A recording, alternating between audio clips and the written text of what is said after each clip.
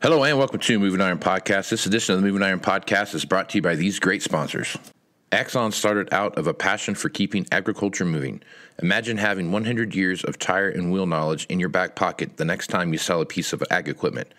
To find more or become an Axon dealer, please visit axontire.com. This podcast is also brought to you by Valley Transportation. Valley Transportation has been hauling ag and construction equipment across the country for the past 33 years. Call Parker at 800 657 4910 or go to valleytransinc.com for all your trucking needs. At Valley Transportation, our goal is to help you reach yours. This podcast is also brought to you by Ag Direct. No matter how you buy your ag equipment from a dealer, auction, or a private party, Ag Direct can help you finance it. You can even apply online at agdirect.com. Learn more about your financing options at agdirect.com. Moving higher in the 21st century. Hardworking people working hard for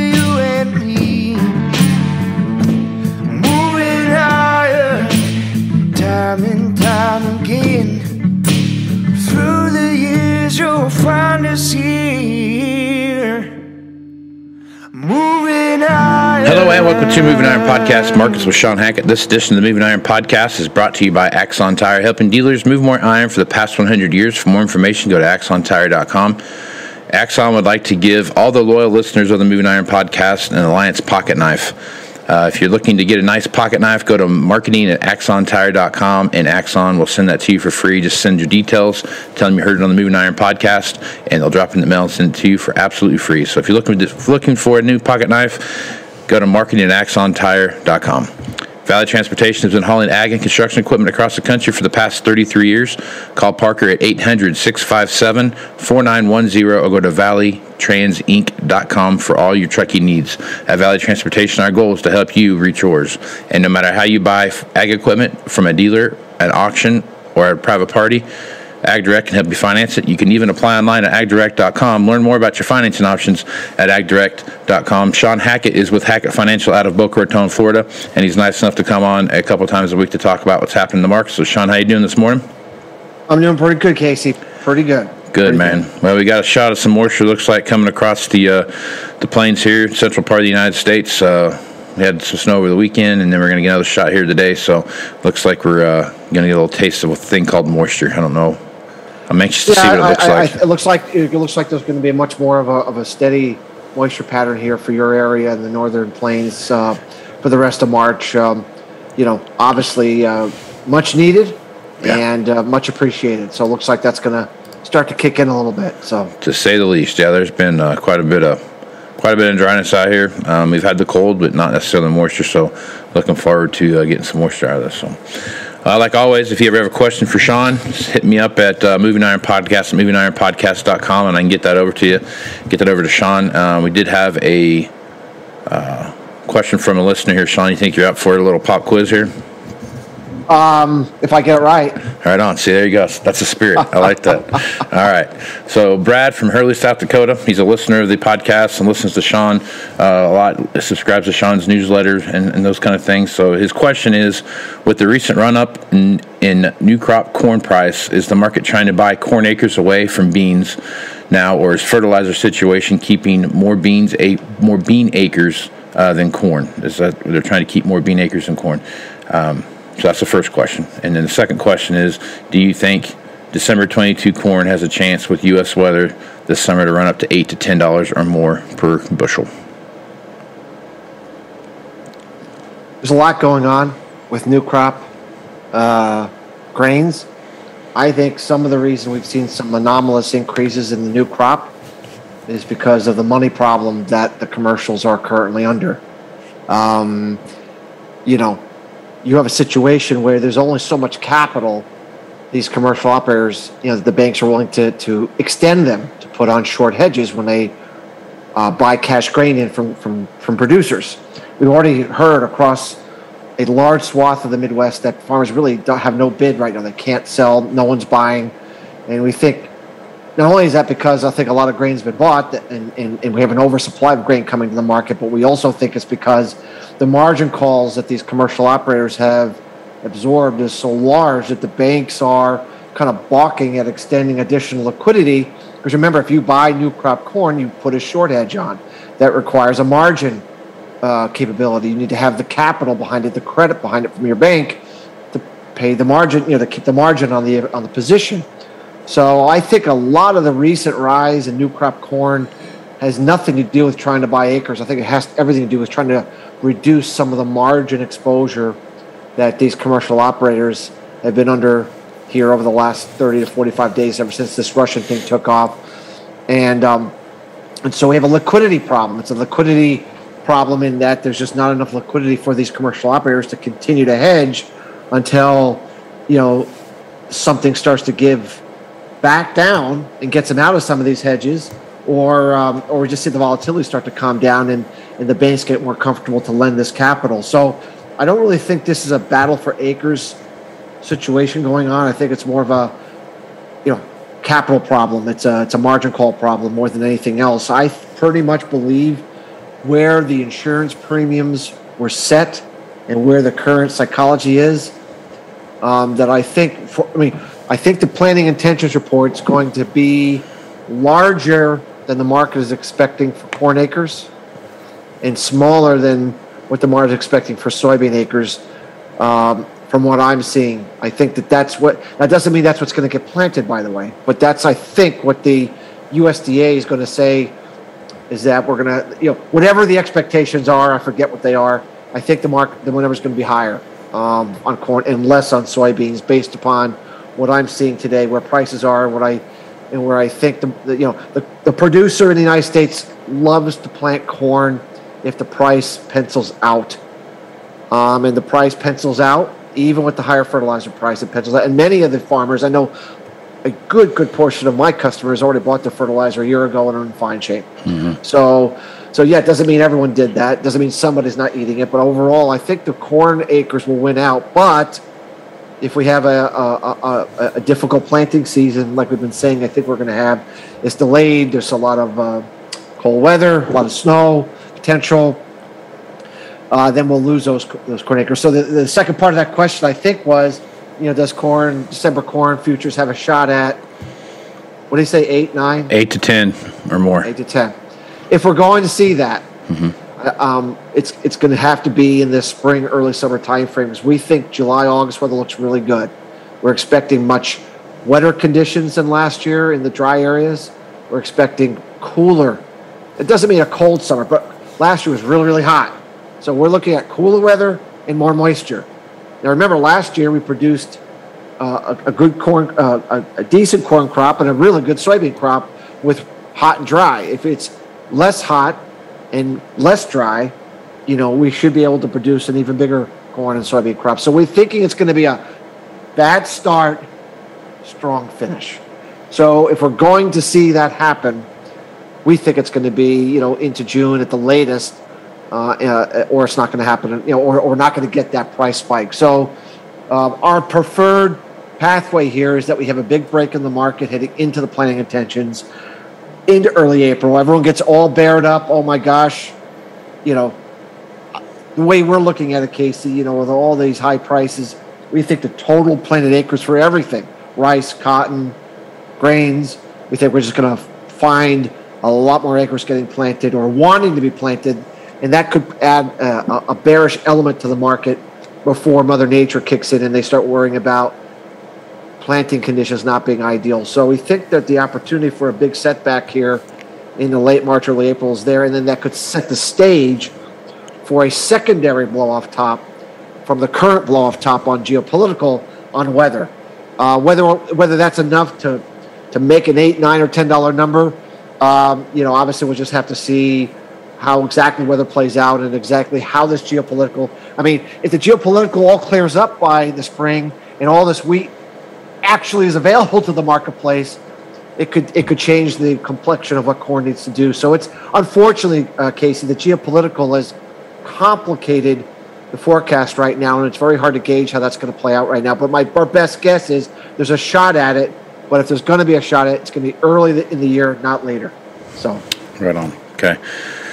Well, Shawn, uh, thanks for answering that question. And uh, Brad, appreciate you sending the sending the uh, email for the, with the question. If anybody else has a question they want to send, send it to uh, Moving Iron Podcast at movingironpodcast.com, and I'll make sure to ask Shawn that question on the next time I record. So, Shawn, let's jump over and take a look at some of the volatility, like you just talked about here a little bit. When you look at what's happening in the marketplace right now, there is a uh, you know wheat has just been on a upward tear here.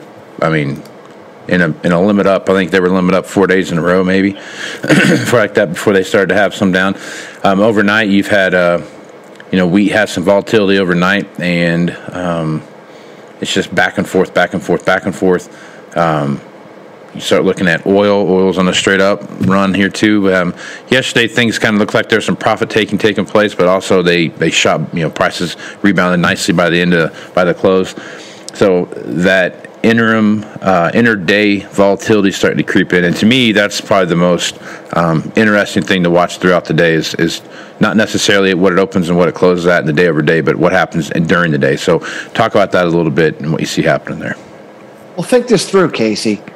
What is what, what, what, is, what is it that you just said? You said that the market is now actually trading again. Right. Okay. Right. So Yeah. so we went from we went from gap up, gap up, with crude oil too, gap up, gap up, gap up. I mean one way Right. trade, and now we're actually trading again. You know, crude went to 130, back down to 116. So we're actually starting to trade again, and that's a transition. We're actually shifting now from a straight up move to now there's actually uh, some downside volatility. That's typically the transition from how I blow off top begins to mature, loses its, its momentum until you start to develop some downside uh, momentum in the market. And what, that's usually news driven and something like this. You know, Casey, something will come out that eases the fears. You know, right now, with where the wheat market is, we believe that the wheat market is trading that there'll be no wheat supply coming out of the Ukraine for the next 12 months. Zero. We feel that the current price of wheat, forgetting the money problem we talked about earlier in the program about commercials and margin calls and having to get out and doing all those, forgetting the money problem, the price of wheat, in our view, is already factored in. No wheat supply coming out of the Ukraine for the next 12 months. Zero. Well, the only way, the only place to go from zero It's straight up. is Yeah. up. Right. Something more than zero. We do Yeah. not believe it'll be a zero over the next two months. I don't know what the number will be, Casey, but I don't believe there'll be no supply coming out of Ukraine. I believe there'll be supplies coming out, and it could, actually could be surprisingly more than the market believes. There's a, over a billion bushels of wheat sitting in the field that will need to be harvested come June. Now the market is anticipating that that, the, that it'll just be left there to rot. Um, I don't believe the entire crop will be left there to rot. Maybe some of it will, but I don't believe that it's in anyone's interest to let good wheat sitting there that's harvestable not get harvested. I think there'll be a way to find a way to come to some uh, calmer times to allow the wheat crop to be harvested. Um, I just feel that if you if you're Russia, you want that wheat supply, you need that wheat supply, and you're going to get that wheat supply somehow, some way, and you're going to make the conditions available that you get it. It's a long time from now. In geopolitical time, Casey, you know, from early March to, to June harvest, I mean, it's a long time. Right. Uh, I, I just feel some planters are, I mean, some harvesters are going to be rolling and, and, and harvesting that wheat. Um, and so all the, so, so, so, and, and, and is, is all that wheat going to actually be, you know, not sold? I mean, the, Russia needs money. Uh, you know, Ukraine needs money. I mean, the, the system needs money. So I, I think that the zero number is being overly, overly worst case scenario, and we're going to get something less than zero. And that's how you get a big down in the wheat market, and that's how you kind of get this correction. I think we're going to get here into late March, early April. Then people worrying about, oh my gosh, we're going to plant all these acres in the U.S. Oh my gosh, look at all these extra acres now Europe is going to plant. You know, we've, we've- we've done the job of telling the world, you know, I think the USDA is going to count acres on Mars. Yeah. I think we're. I, I- think there's going to be two, two, million, two million wheat acres planted on Mars that actually can produce a yield this year. I'm just. I'm kidding, but you know what I'm saying. I. Right. when you're when you're trading zero supply, that's a really really hard number to maintain. And I just don't think that the thing is situation is that dire. I might be wrong, but I think we're going to find out that some of those supplies are going to be harvested and available. And yes, the corn crop will get planted in some fashion as well. And that the zero number is not going to be the, the right number, and we're going to have to recalibrate now. So the fact that the market is starting to trade now means that the market is starting to worry a little bit that maybe we've priced it all in. Does it mean it, it, you know today's the top? Doesn't mean we can't go higher, but it's saying that the market is now starting to question whether we've gone high enough, and that's the first sign of losing a blow off top momentum. So on that same topic, when you look at at wheat coming out of Russia, right? So there's going to be that, all that issue there. Uh, I mean, is the market looking at that from a, de- a, delay standpoint of getting that out as well, just because of, of what the issue is with the Black Sea? Well, Russia could get its wheat out. It doesn't have to go through Ukraine ports to get the Russia wheat out. It can go out through other, right. go out through, you know, it, everyone thinks that, you know, it's all Russia we're talking. No, we're talking about Ukraine wheat. The Ukraine grown wheat needs to go out of the ports, mm-hmm. pretty much. Um, but the Russian wheat does not have to go out of the ports. It can go out of other ports. It can go, well, you know, by uh, by land, and it is going by land in a lot of cases to a lot of places. Um, now, the market is saying that Russia, you know, remember Russia was already constricting these exports with high export taxes. You know, maybe they knew they were going to do this, and so they were keeping more wheat on hand. Maybe that was their game plan all along, right? Right. But, but. Uh, so it doesn't. So the market's betting that the Russia is going to purposely continue to withhold their wheat supplies from the market into perpetuity. I don't think that's the case either. I mean, from what I from the news that I see, it looks like several months before this invasion, they worked out a deal with China to sell China all kinds of wheat that they need. So I believe the wheat will be very available to certain people not necessarily available to everyone, but it'll be available to certain people. So if you supply the Chinese with all the wheat they need from Russia, then they don't need to buy wheat from anybody else. Well, then that leave then that eases that supply that they would have bought, and those supplies now go to somebody else. So, so I, I think the market is overreacting. That no, those supplies are going to be available to China and maybe some in the Middle East that are friendly to Russia, that sort of thing and that so that that's not no supply available. It just means selective supply available, but it does ease the burden of overall supply and demand of what is currently being priced in. So I think once again, pretty significant overreaction here right now. Okay. All right. So now I've read two articles so far this morning um, about uh, the ban of uh, Congress rallied last night, banned or talking about banning anyway. Haven't done anything yet, banning the uh, import of uh, Russian oil uh, to the U.S. What's that going to do to the overall uh, oil market as you as you take? I mean, as as things kind of unround. We're already, you know, Brent crude is you know 120 plus dollars a barrel. WTI is kind of the same range. I mean, I guess so. As you look at that now, what is that going to do to the oil overall oil supply? Well, if you're the spike trade yesterday, Casey, when right. it opened up at 131 or something like that, was mm-hmm. on the mm-hmm. news that we're not going to buy Russian oil. Right. Well, they're going to sell the oil, just not right. to us. Just not to us, okay? right? Yep. So, so once again, uh, that that doesn't mean that the oil isn't available. Doesn't mean that the oil isn't being entering the global supply demand equation. It will go to China. It will go to other people who need it it will go to India. You know, it'll it will find its place elsewhere. So those markets that would normally buy crude oil from other people and are instead going to get more of it from Russia than they used to means that the supplies they would have bought from others now is available to the marketplace to others. You, you follow like right. it, it, it's it's it's all connected. So I people are trying to create this one dimensional it's black and it's white. Well, not really. They're saying, well, this supply now is not available. Of course, it's available. Just not available to the United States. If we do this, we'll just get our oil from elsewhere. Now, it doesn't mean that we're going to pay the same, that we won't pay a higher price for a little while. Maybe we will. But remember, Casey, uh, U.S. is going to increase production. Now, it's that you just don't snap your fingers and increase production right away. Right. It might take six months, but later in the year, I don't care who these you know who what the U.S. producers think or don't think about the Biden administration, what their long-term plans are. If they can lock in a very very profitable price, um, then they're going to that they're in the business of being of running profitable uh, operations, and so they're going to go out there and start getting those fracking rings uh, rigs going again and getting some more production. You know, doesn't mean they're going to go out and spend a ton of money on all new oil fields, but there's a lot of oil fields they abandoned when the market went, to minus 35. right. right? That, that Yeah. they can go back. They, they, they Yeah. can go back to and with not an exorbitant amount of capital, get them up and running again at least, and that will ease the burden as well. So I think that once again, you know, I, I think ultimately that's a good thing if we get more production growing in the country. That means we'll be less dependent on, on Russia a year from now.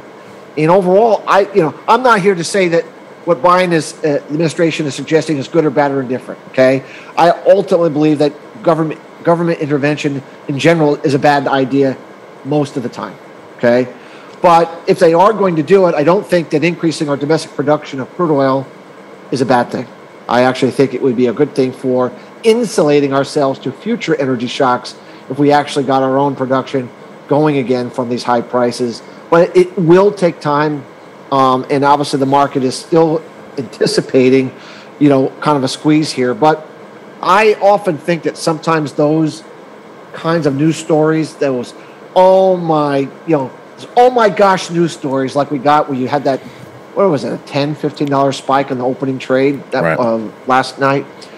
Sometimes those put in the tops. Sometimes I'm not saying you know I'm not here predicting a top and a blow off top, but sometimes that's how you make the blow off top when when it's so bullish you can't imagine it ever coming down again. Maybe that was the blow off top high for oil on this go around. It's possible. Yep. It's very possible. Yep. Yeah, million moving parts here, Shawn. Um, you know, But, but uh, also let, let, let's uh, let's also remind everybody if you look out on the production curve, I mean on the uh, price curve.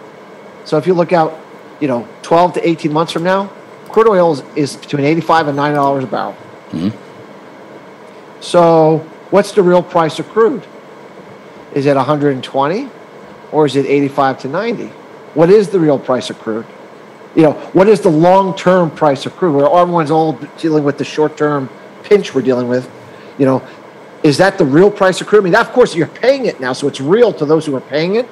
But the but the long-term cost situation of crude is really not what it is today. It's what it is over the next five years.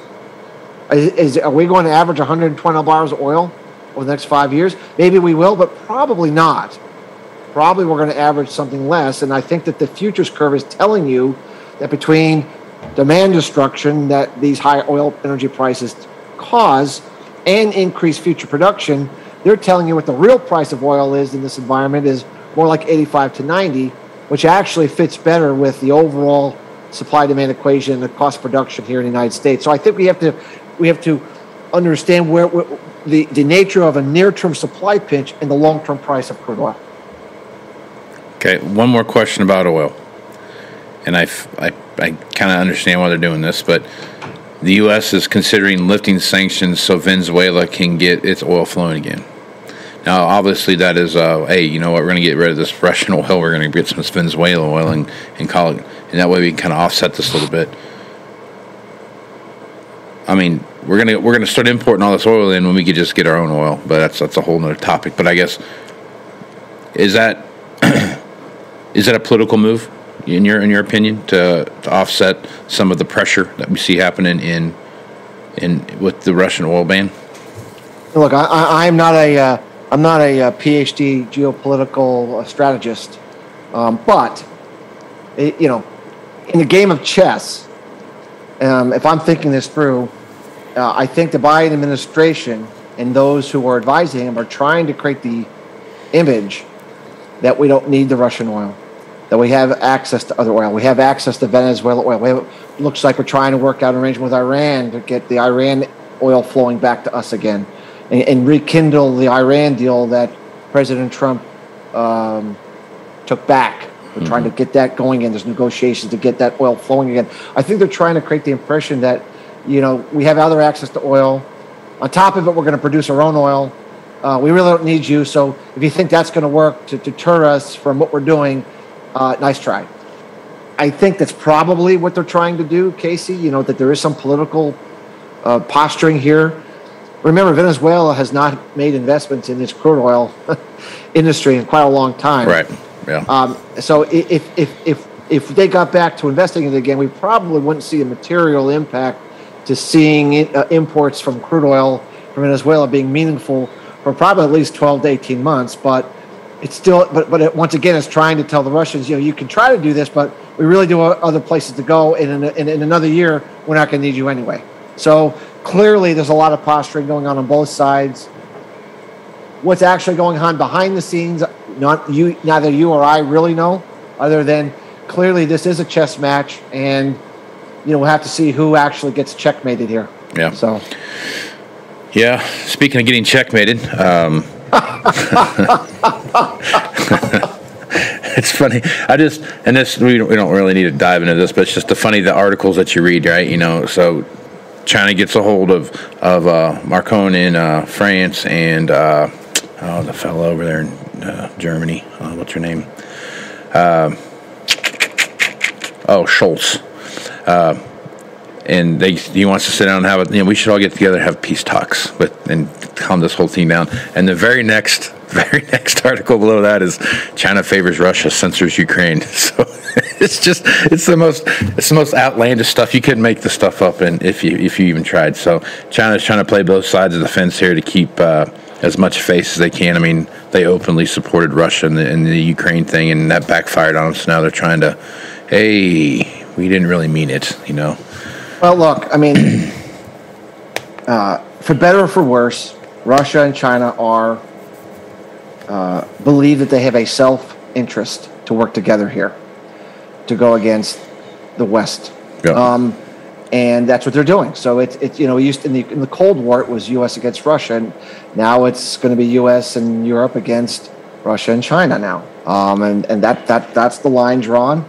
The, it's a it's a new geopolitical reality, and um, and and that's that's what's going on here, and and how this all plays out, and what the new rules are. Um, we'll have to wait and see. Obviously, we're in the process of re uh, setting up these relationships and how this is all going to work. But but in the end, um, you know, China does not want high food and energy prices, and they know uh, they still need the U.S. for a lot of their food imports.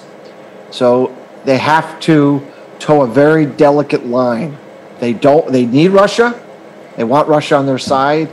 Uh, at the same time, you know, they, they they do need to have an olive branch out to the west um, to you know just be, they have to just be very very careful. So I think that's why you're seeing what you just said.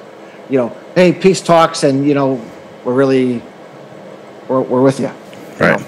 Um, and uh, and just and, and, and on top of it, you know, take a look what happened with the nickel market. I don't know if you've been following it, but they the London Metals Exchange literally shut the market down because it was up like 250% overnight on a massive commercial short squeeze. Like we talked about what's going on in the wheat market, in the grain markets, where these commercial operators have margin calls that the banks are, are kind of squirmishing, wanting to fund. We had a situation where um, massive, massive commercial liquidation, 250% increase in price. They shut the market down. They're trying to determine who owes what. They think that there might be a default of the Nichols Exchange. Um, they're they're they're actually thinking of canceling all the trades that occurred um, on that 250% increase to try to get people to pay.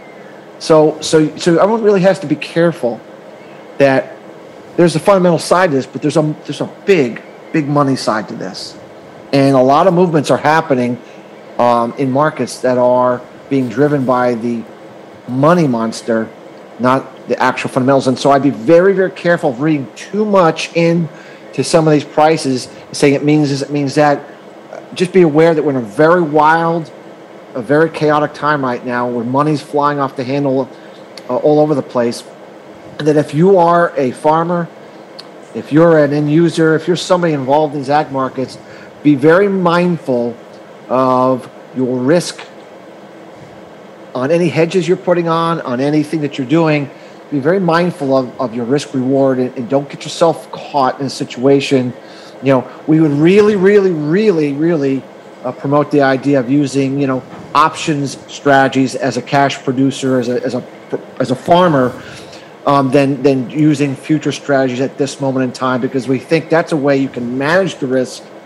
Um, and even if you get caught in a 250% increase in the wheat market overnight, should that occur, um, you know, you're not going to be taken out to the woodshed and, and, ha- and lose your farm. Just be very mindful of that.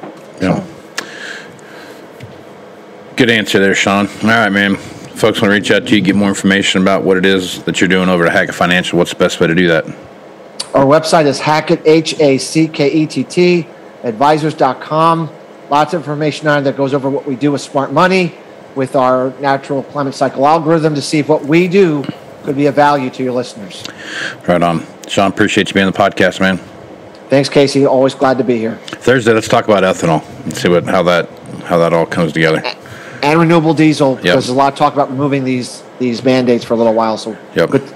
I think it's a good idea. Okay, right on. So tune in Thursday for all your renewable fuels talk with Shawn Hackett and Casey Seymour. All right. so with that, I'm Casey Seymour. Uh, find me on Facebook, Twitter, and Instagram. Uh, that's where you find the latest editions of the Moving Iron Podcast. Go to Moving Iron LLC for the entire library of the Moving Iron Podcast, as well as every blog I have written up there on my on the website as well. Also, uh, all the information from the Moving Iron Summits coming up in Nashville, Tennessee. Uh, that will be September 6th, 7th, and 8th at uh, Hilton downtown uh, there in Nashville. So if you're interested in checking that out, uh, go to the website, see the speakers, what have you. If you have any other questions, send me an email at uh, movingironsummit.info at, uh, let's see, pretty sure that's right. Before I check that real quick to make sure. Oh, yeah, movingiron.summit at movingironllc.com. And you can get all the information that way. So send me that email and I will get back to you. So with that, I'm Casey Seymour with Shawn Hackett. Let's move some iron, folks. Out. Axon Tire is going to have more tips, tricks, and client advice throughout the year and in September at the Moving Iron Summit in Nashville. If you're looking to sign up for the event, please head over to movingironllc.com. We hope to see you there. Valley Transportation has been hauling ag and construction equipment across the country for the past 33 years. Call Parker at 800 657 4910 or go to valleytransitinc.com for all of your trucking needs. At Valley Transportation, our goal is to help you reach yours.